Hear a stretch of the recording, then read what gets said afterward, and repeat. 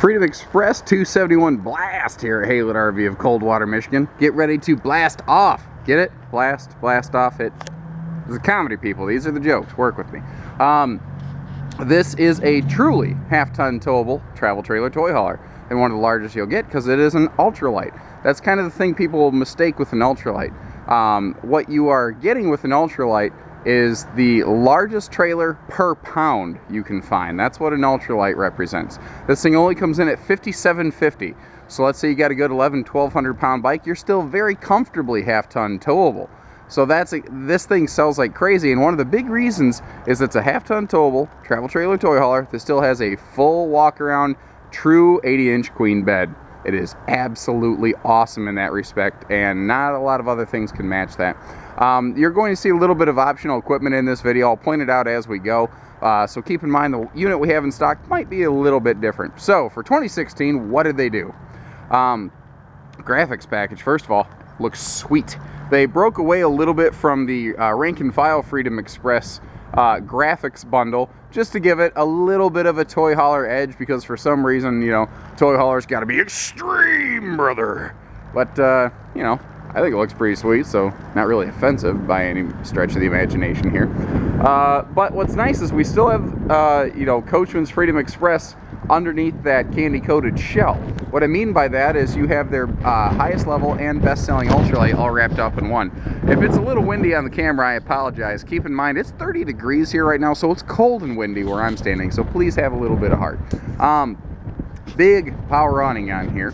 And it does have uh, LED lighting under that awning. So you push a button get an awning. It's just that simple. Because this has a full walk around bed we get the advantage of these roughly what 30 inch ish uh, baggage doors here. So we do still have a full pass-through underbed storage which most toy haulers just don't have. Most toy haulers have spit for outside storage. Um, also the baggage door is wide so you can get in and out of it easily. You can use this just like a travel trailer. At the end of the day it could be a travel trailer a toy hauler a bunkhouse uh, uh, three seasons, or it can be anything you want it to be. Now, a really cool thing here is it doesn't just have um, underbelly enclosures uh, in the uh, living area, it also has it in the garage because this does not have a fueling station. That's the hiccup with a fuel station. You cannot have an enclosed underbelly where there's a fuel station for fire hazard reasons. Um, they make the uh, front fiberglass sweep here white instead of tan like the rest of the trailer. And they're doing that for bedroom heat because folks were saying, man, when I go camping, I love the look of my trailer, but my bedroom is just cooking. So they took one of those uh, little like thermal laser things that are like thermometers that you use a, like a laser pointer with, those fancy contraptions, and they stuck it against the inside of the bedroom wall on a standard skin trailer. Then they built one like this with the white skin and shot it on here and it was between 10 to 20 degrees cooler depending on the temp outside. Huge difference. So, you know, you're not cooking to death.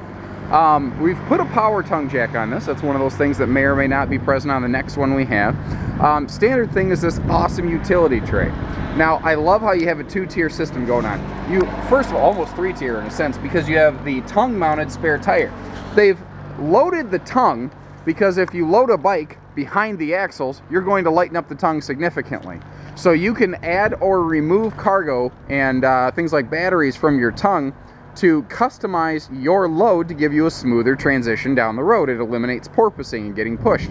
It's really neat because that's the trick with toy haulers is they have a little more tongue weight on average than other things because they're designed to have a big heavy something in the garage behind the axles giving you a cantilever effect which is if you think of it like a seesaw uh, uh, lightens up the nose the um, tray up here you can use for just general utility, cargo. It could be perfect for a little portable generator. It is uh, uh, slotted here so it's not going to just pool up rainwater. You have room for a double battery down there. You know, it's just easy to get to.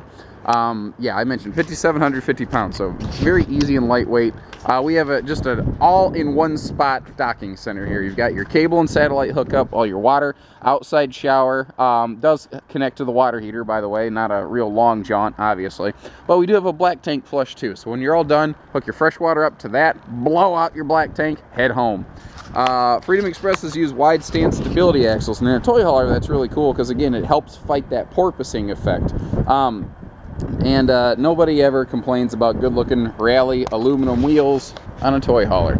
Um, the uh, garage door is heavily spring loaded and they it's almost oversprung straight from the factory because after a couple years they want it to still remain good and strong. That's why you see this wind actually causing it to flap a little bit because the spring assist is so strong that it makes it light and easy. Now, if there's no wind, it's just going to hug the ground. It's not like you're going to have to pop a wheelie to get your uh, bike up here.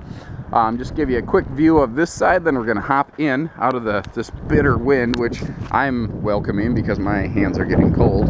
Um, we have added the uh, power uh, bed lift back here. Now, normally, if it doesn't have that, your sofas would be bolted to the wall. When you add the power bed lift, the sofas uh, become married into that lift, and you actually have a two-tier system. So these can roll over and become bunks if you are so inclined, and here's exactly how difficult it is done.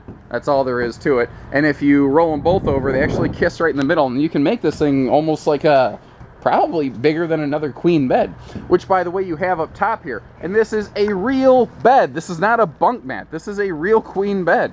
That is cool. I was really impressed when I saw that. They added a slight dovetail back here, which the 271 did not have last year. But what this is giving us is just that easier angle of attack. I'll give you a trick here, guys. If you want a really easy load angle, take your tongue jack and just crank it up as high as it can go. Put a block under it if you need to. And what you'll do is every inch you gain on the tongue, you gain like two inches behind the axles, and you can make this thing a very smooth transition. That's a little tip from your Uncle Josh right there. In the garage area, we have 12 tie down D-rings, 2,500 pound rated, and uh, I mean they're all over the place. So you know they're just uh, you can tie all kinds of stuff down, and we do have a uh, like a rubberized diamond plate type flooring in here. Pardon me, I came in the back door instead of the front door where all the light switches are located. So let me turn all this stuff on. All LED lights, just like a normal Freedom Express. Um, the uh, again, at the end of the day, it's still a Freedom Express Ultralight. This one just happens to have a garage door on the back. Oh, I forgot to pull this down. I'm sorry. You have a, uh, a big uh, table up here. Um, it's a uh, uh, inside-outside utility table, and here, let me show. This will be easier over here. It has the same material as this countertop. Notice it's it's uh, not T-molded. There's no seams wear on this thing, so you can you can take it outside if it gets a little moist. Who cares? Dry it off, wipe it down. You're all set. This does have an 18 gallon per hour gas electric water heater with fast recharge. What that means is gas and electric simultaneously. Um, I feel like I'm missing some. Oh, central air conditioning. Not all toy haulers have central air. But again, at the end of the day, it's still a Freedom Express. Sometimes we'll upgrade that air conditioner to a 15K, sometimes not, just depends. Um, uh, the uh, TV that you'll find with this trailer will be uh, mounted on that flat screen. I simply couldn't get to this one yesterday. It got too dark and there's just no way I could do my videos in the dark. And uh, the uh, whole TV's on a swing arm here, so it can face wherever you want, basically. Other than the bathroom and the bedroom, everybody gets a good shot at this thing. All your windows open for cross breeze. All of your windows have nice little uh, pleated nightshades on them, so if you want to black everything out, you can do that. If you want privacy, if you don't want people scoping out your bikes, you can do that too. Uh, let's kick over to the kitchenette area.